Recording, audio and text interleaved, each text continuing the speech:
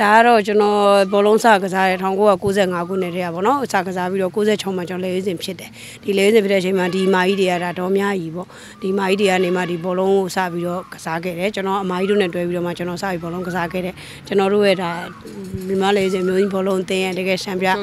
အုပ်ချုပ်သူလည်းလုပ်ခဲ့တယ်ရှမ်းပြကစားသမားကြီးပေါ့အန်တီတို့က65ခုပထမဦးဆုံး မျိုးသမီး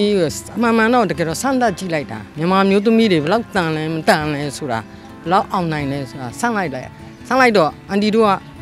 နံပါတ်ဝင်သွားတယ်ဝင်သွားတော့အမျိုးသမီးတွေမြန်မာမျိုးသမီးတွေကတော်တော်လေးကိုကောင်းတယ်ဆိုတာကိုသိလာတော့နောက်ပိုင်းနေကြတော့ဒီကားကအစတည်းကသူ့ကြိုက်တယ်65ခုနှစ်တည်းကအန်တီကအမှအသင်းကောင်းဆောင်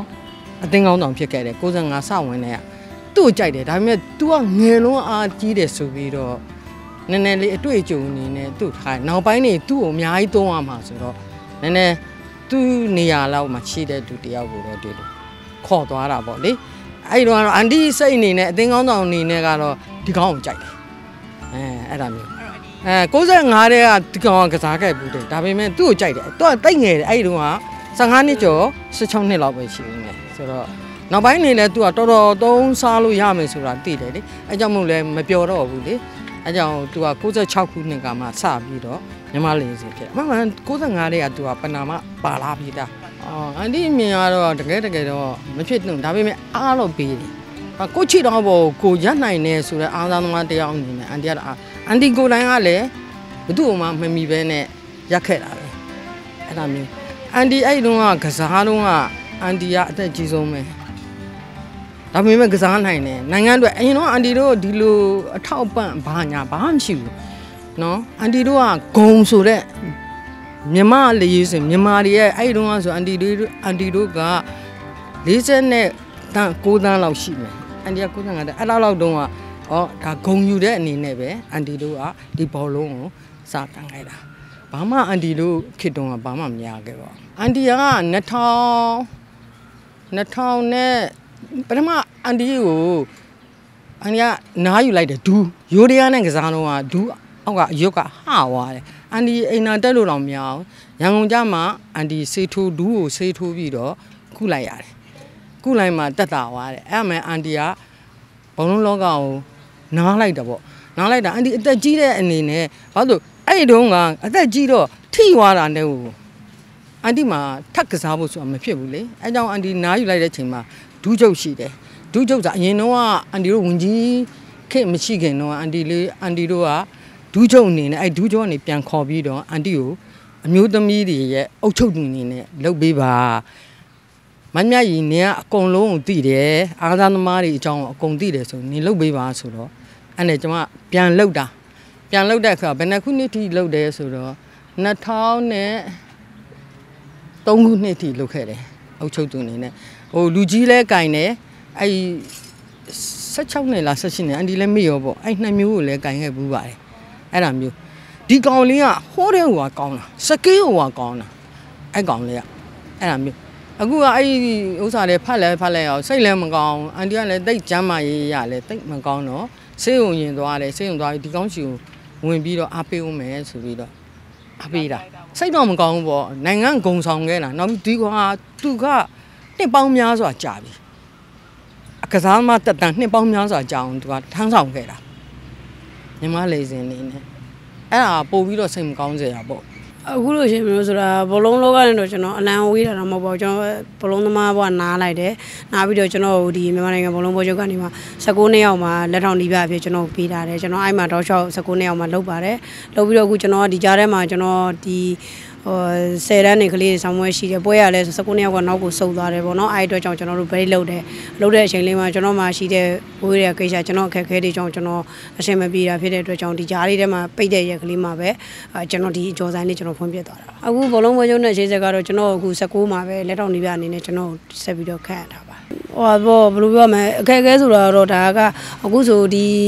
ကျွန်တော်အကြောင်းတွေအကုန်လုံးသိကြတယ်တချို့ comment တွေမှာလည်းရေးကြတယ်အဲ့ဒါတွေအတွက်ကတော့ကျွန်တော်အခုအဲမေးတဲ့ထပ်ဖြေတဲ့ဟာတွေထဲမှာကျွန်တော်ထပ်ပြောထားတာကတော့ကျွန်တော်ကိစ္စနဲ့ပတ်သက်တဲ့ဟာဒီကျွန်တော်ကိုရေးကိုတာကျွန်တော်ဖြစ်တာပေါ့နော်ဆိုတော့ဒီဟာပေါ်မှာမြန်မာနိုင်ငံဘလုံးဘောချုပ်ကိုထိခိုက်တာရယ်ကျွန်တော်တို့ရဲ့ဥက္ကရာကြီးကိုလက်ရှိဥစောစောပေါ့နော်ဒီလိုဥစောစောတို့ပြောတဲ့ဟာမျိုးလေးတွေပေါ့ဥက္ကရာကြီးတို့ပြောတဲ့ဟာမျိုးတွေမဖြစ်စေချင်ဘူးကျွန်တော်ဖြစ်တာဒီကျွန်တော်ရဲ့ဘဝကျွန်တော်အခက်အခဲကြောင့်ကျွန်တော်ဖြစ်တာဖြစ်တဲ့အတွက်ဒီဘွဲချုပ်နဲ့မသက်ဆိုင်ပါဘူးဘွဲချုပ်ကနေမှထောက်ပံ့တာမပြုတာမျိုးတော့မရှိပါဘူးဒါတွေကိုတော့ကျွန်တော်ဒီကနေပြီးတော့အနုညွတ်တောင်းမှန်ချင်ပါတယ်ကျွန်တော်ဘကျွန်တော်ကျွန်တော်ရဲ့ကိုယ်ဝယ်စရာကတကယ်ကိုကျွန်တော်လည်းတော်တော်ကိုအခက်အခဲဖြစ်တဲ့အတွက်ကြောင့်ကျွန်တော်ဖြည့်ရှင်းရမယ့်အတိုင်းအတာတစ်ခုမှကျွန်တော်မှတော်တော်ကို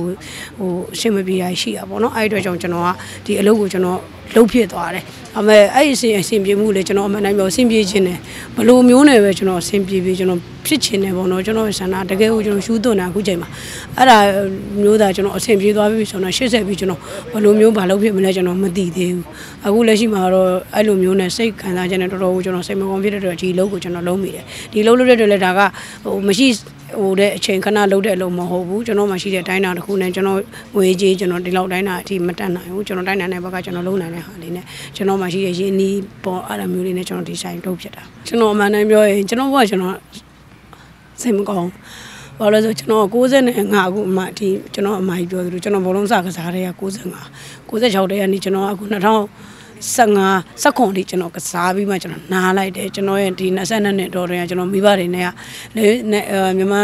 နိုင်ငံဘောလုံးကျွန်တော်ပွဲမရှိတဲ့အချိန်ခဏဘရိတ်လုပ်တဲ့အချိန်လေးပဲကျွန်တော်မိဘရှိပြန်တွေ့တယ်ပွဲရှိတဲ့အချိန်ဆိုကျွန်တော်ဒီမှာပဲလာနေရတာမိဘတွေကကျွန်တော်ဟိုမှန်ပြောမွေးထုတ်ပေးလိုက်ပြီးတော့ကျွန်တော်16နှစ်လောက်တည်းက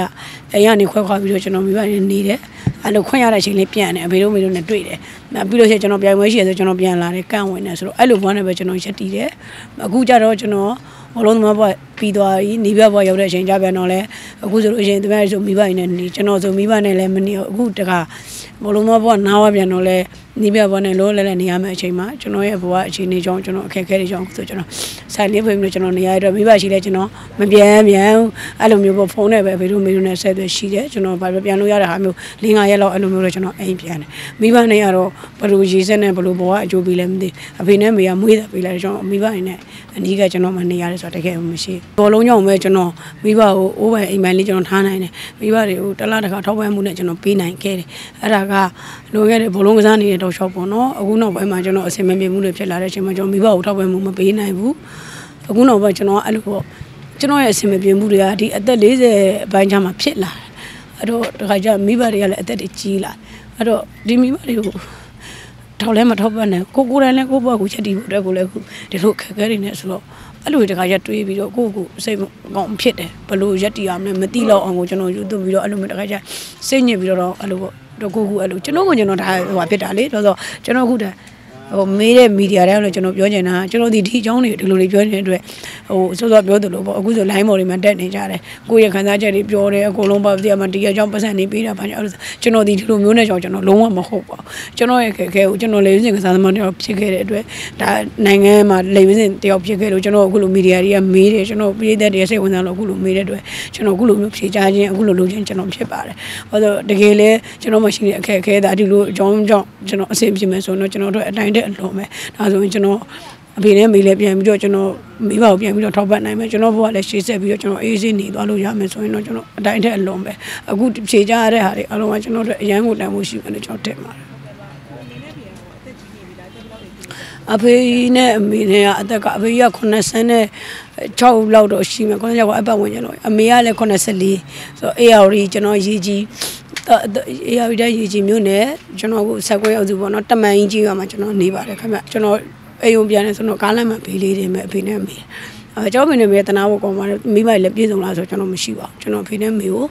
အိမ်နဲ့ခြံနဲ့အဲမီမီးနဲ့အကုန်နေနိုင်တဲ့အာမီကျော်တားတယ်ပြီးတော့လဲလေးဆိုတော့ကျွန်တော်လေးကကျွန်တော်ဝယ်ထားပြီးတယ်ပေါ့နော်အဲ့လိုမျိုးပဲမိဘတွေမှာရှိတာအခိုင်အမာရဲ့လို့မရှိပါဘူးကျွန်တော်ဖေနဲ့မေကိုလည်းပတ်စံဆိုလည်းအခုဆိုပြည့်စုံမှုမပေးနိုင်တဲ့အတွက်သူတို့တို့ပဲအဲ့လိုမျိုးအဆင်ပြေတဲ့အတိုင်းတော့ကျွန်တော်နေရပါတယ်ဒီကလေးမတွေကဆိုကျွန်တော်နဲ့အတူတူဟိုနှစ်လောက်ရှိပေါ့နော်သူကျွန်တော်မှနေပြီးတော့မှအခုဆိုဘာပဲပြောဒီအကျော်လုံးပြတယ်ဆိုတာလည်းဒီကလေးမလေးကအဲ့ရနဲ့ပတ်သက်လို့သူလှုပ်တတ်တယ်ကျွန်တော်မှအခက်အခဲရှိနေတဲ့အတွက်သူကနေမှဒီလိုမျိုးကျွန်တော်ဖြေလှုပ်ပေးတယ်ပေါ့နော်အခုဒါရန်ကုန်မှာဆိုတာဒီကလေးလေးကျွန်တော်ကိုကူညီပေးတယ်ကျွန်တော်နားမှာနေပြီးတယ်ကျွန်တော်တို့ဘာကျွန်တော်ဘောကျွန်တော်ရက်တည်နိုင်တဲ့အတိုင်းအတာတစ်ခုကဒီကလေးမလေးကျွန်တော်အများကြီးကျွန်တော်တို့လုပ်ပေးတယ်ဒီအတွက်လည်းကျွန်တော်ဒီလိုမျိုးရက်တည်နိုင်တယ်အခုအလုပ်တစ်ခုကျွန်တော်ကြိုးစားစားကျွန်တော်ပဲကျွန်တော်လုပ်တယ်ဒါပေမဲ့အရှင်ဆုံးပြောနေကျွန်တော်ရှိနေတဲ့အခက်အခဲတွေကျွန်တော်အဆင်ပြေချင်တာအဲ့ဒါပဲဒီကလေးက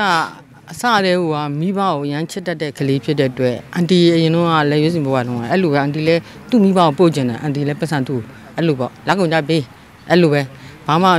လက်ကုန်ကြပေးရောယူသွားအဲ့ဒါမျိုးတွေလုပ်ခဲ့တယ်အခုပြောရမယ်ဆိုရင်တော့ကစားသမားတွေအနေနဲ့စူးစမ်းပါအခုခေတ်ကအခုခေတ်ဘုံလုံးသမားဖြစ်ရတာတော်တော်ကောင်းပါလေနိုင်ငံတော်ကလည်းတော်တော်ပံ့ပိုးတယ်ဖွဲ့ကျုံကလည်းတော်တော်ပံ့ပိုးတယ်တော်တော်ကိုတော်တော်ကိုပံ့ပိုးတာအာခလေးတွေအနေနဲ့နိုင်ငံအတွက်စူးစမ်းပါလို့ပဲအန်တီကပြောချင်တယ်နော်တခြားဘာမှတော့မပြောချင်ပါဘူး နိုင်ငံအတွက်ကြိုးစားပါတဖြည်းဖြည်းနဲ့ကြလာလို့ ကျွန်တော်အနေနဲ့ပြောချင်တာကတော့ဒီနေ့အမကလည်းလာမေးတဲ့အချိန်နဲ့ဒါကျွန်တော်ဒီ line ပေါ်ကနေကြည့်နေတဲ့လူတွေအားလုံးကိုလည်းမိတ်ဆက်ပေးချင်တာကတော့ကျွန်တော်ပြောတယ်ကျွန်တော်ပထမဦးဆုံး65ခုနှစ်မှာစကစားတဲ့ကျွန်တော်တို့ရဲ့ဒါ senior ကစားသမားကြီးအားလုံးကိုမိတ်ဆက်ပေးချင်တာနောက်အခုရှိနေတဲ့ကစားသမားတွေရောမသိတဲ့လူရောသိတဲ့လူရောကဒီနေ့ကဘာပဲပြောပြောတာမိတ်ဆက်ခွင့်ပေးကြရတယ်ပေါ့နော်ဒီမြန်မာနိုင်ငံအမျိုးသမီးဘောလုံးသင်းအခုလက်ရှိရှိနေတယ်ဆိုတာကဒီအခုကျွန်တော်တို့နားမှာရှိနေတဲ့လေရွေးစင်ကစားသမားဟောင်းကြီးတွေ ကစားခဲ့လို့အဲ့နှစ်ကသူတို့ကတတိယဆုကိုကျွန်တော်တို့ထက်ထက်တန်ယူလာပြီးတဲ့အတွက်အမျိုးသမီးတွေကရှေ့ဆက်ပြီးတော့ဖြစ်နိုင်တယ်ဆိုပြီးတော့ဆိုတော့မိုင်းပြောသလိုဒူးချုပ်ကနေမှကျွန်တော်တို့အမျိုးသမီးတွေကိုဆက်ဖွဲ့ထားတဲ့အတွက်အခုချိန်ထိကျွန်တော်တို့အမျိုးသမီးဘောလုံးတွေကအခုချိန်ထိရပ်တန့်နေတာအဲ့အတွက်ဒီကကစီနီယာကစားသမားတွေဖြစ်တယ်လို့ကျွန်တော်တို့အမျိုးသမီးဘောလုံးသမားတွေအတွက်တကယ်ကိုအတူယူစရာအခုအသက်အရွယ်တွေရှိတဲ့ကစားသမားကြီးပါလို့လည်းကျွန်တော်မိတ်ဆက်ပေးချင်တာရယ်ပြီးတော့အခုရှိတဲ့ကစားသမားတွေအားလုံးကိုလည်းအခုဒီမိုင်းပြောသလိုပဲ65ခုနှစ်လောက်ကကျွန်တော်တို့ဒီကစားဖို့အတွက်ကိုပဲစိတ်တန်ခဲ့တဲ့ငွေကြေးကအဓိကကျွန်တော်တို့မကြခဲ့လို့ကျွန်တော်တို့ဒီကစားခဲ့တာကောင်းတယ်လို့ကျွန်တော်ပထမအင်တာဗျူးတွေမှာလည်းဖြေတယ်လို့ကျွန်တော်လည်းအခုနောက်ပိုင်းကစားရတဲ့မှာမန်နီလာထွေးတို့ဘာလို့ဆိုတာအခုတန်းတန်းထွေးတို့သူစားတန်းတန်းထွေးဆိုအခုနောက်နောက်ပေါ့နော်သူစားထွေးတို့အခုနောက်ဆိုကစားရှိမှာအေးနန္ဒာလိုင်းတို့လှလှတန်းတို့ရင်မိုးအေးတို့ဆိုတာဒါဘာပြောစီနီယာကစားသမားတွေပေါ့အဲ့လိုမျိုးကစားသမားတွေရှိခဲ့တယ်လို့အခုရှိနေတဲ့ကစားသမားတွေထဲမှာလည်းဘာပဲပြောပြောကိုယ်နိုင်ငံအတွက်ဟို ရိုးရိုးချုံချုံကျွန်တော်တို့ကကစားစီခြင်းနဲ့ကလေးတွေကိုအခုနောက်ကျွန်တော်တို့နိုင်ငံမှာရွှေခေတ်ဆိုတော့ကျွန်တော်တို့ပြောင်းနေတယ်ကျွန်တော်တို့ဆိုလည်းအခုဒါဘောလုံးသားနားပါတယ်22နှစ်ကြီးကစားတဲ့ပလေယာတယောက်ကမိမိနိုင်ငံအတွက်ကိုရွှေစိတ်နှစ်ခုလေးပဲယူပေးနိုင်တယ်ယူပေးနိုင်တဲ့ရွှေစိတ်ကလည်းအာဆီယံချန်ပီယံရှစ်ဆိုတော့ဒါကိုအနေနဲ့ကြည့်မယ်ဆိုရင်စီးကိန်းလိုဟာမျိုးမှကိုမရတဲ့အတွက်ကိုဒီမထိုက်တန်ဘူးကစားသမားတယောက်ဖြစ်တယ်ဆိုတော့ကိုယ့်ကိုယ်ကိုအဲ့လိုမျိုးယုံကြည်မိတယ်အဲ့တော့အခုနောင်လာတဲ့ကစားသမားတွေဒီအခုမမမာကြီးပြောတယ်လို့ပဲထောက်ပံ့မှုလေးလေးလည်းကောင်းတယ်ပေးဆက်မှုလေးလည်းကောင်းတယ်သွားရနိုင်ငံခြားဘောဆိုတော့ကျွန်တော်တို့နေတာကျွန်တော်တို့တော့ကကြာနိုင်ငံခြားဘောတပွဲရှိမှတစ်ခါသွားတာအခုဆိုရင်မြန်မာနိုင်ငံဘောလုံးဘောချုပ်ကတော့သူတို့ပေးခြေစမ်းဘောတွေသွားရတယ်ချစ်ကြည်ရေးတွေကျွန်တော်တို့သွားရတယ်နိုင်ငံတကာတွေဆိုသူတို့ဆိုတော်တော်များများနိုင်ငံတွေသွားရတဲ့ဟာမှာအရန်ကိုကောင်းတဲ့ခေအရန်ကိုသွားတာအဲ့ဒီပုံမှာသွားရတဲ့ဟာကကိုယ့်အတွက်ပညာရတယ်လို့သွားခွင့်ပေးတဲ့အဖွဲ့ချုပ်ပုံလည်းပြန်ပြီးတော့ကလေးတွေဘက်ကပြန်ပေးဆက်ပြီးတော့မှနောင်လာမဲ့အခုရိုးတွေကလိုဘီယက်နန်လိုမျိုးပြည်သက်တွေပြောနေတဲ့ဒီသင်းတွေကိုမနိုင်နိုင်ဘူးလားမလုံနိုင်ဘူးလားဆိုတော့ကလေးတွေကနေမှဒီဟိုဟိုဟာပေါ့ကျွန်တော်တို့ပြောတဲ့ ပရိသတ်တွေဟာအားလိုမျိုးပြန်ယူပြီးတော့မှကျွန်တော်တို့ပြည်စင်ချင်တာအခုနောက်လာမဲ့ပွဲတွေမှာကလေးတွေကိုထိုင်းနဲ့တွေ့တယ်ဆိုအရင်လိုဘောမဖြစ်ဘဲနဲ့ငါတို့ဘာပဲပြောပြောအခုလိုမျိုးပြည်သက်ကအားပေးတယ်ငါတို့ပြည်သက်တွေတခုခုဆိုတဲ့ဟာမျိုးတို့ခံစားမှုတွေယုံကြည်မှုနဲ့အဲ့လိုမျိုးပြန်ကစားစေချင်တယ်ဒါဆိုရင်တို့ဒီအကောင်းဆုံးတို့ရဲ့ရှိနေတဲ့ပါဖော်မတို့မှရှိနေတဲ့ကစားအားတဲ့အဲ့စိတ်မျိုးနဲ့တို့ကစားမယ်ဆိုတို့ဒီအလိုလိုနေနေကျွန်တော်တို့အရင်ကကစားခဲ့တဲ့ခက်လို့ပဲသူများကိုလုံးချင်ကင်ချင်နဲ့ကြမ်းကြမ်းတမ်းတမ်းမှုက ကံစားမှုကအစအကုန်ပြောင်းလဲသွားမယ်လို့ကျွန်တော်အနေနဲ့ထင်ပါတယ်အဲ့အတွက်ကိုလက်ရှိနောက်ဖြစ်လာမယ့်ကစားသမားတွေအားလုံးဒီနိုင်ငံအတွက်ကောမိမိအတွက်ကောကျွန်တော်တို့ဒီဘောလုံးကိုဘာပဲပြောအမျိုးသမီးဘောလုံးကိုတကယ်ကိုစိတ်ပါဝင်စားစားနဲ့ကစားပြီးတော့နိုင်ငံလေရွေးစင်ကစားသမားတွေဖြစ်အောင်ကြိုးစားစေချင်ပါတယ်ဟုတ်ပါတယ်ဟုတ်ကျေးဇူးတင်ပါတယ်ဗျကျေးဇူးတင်ပါတယ်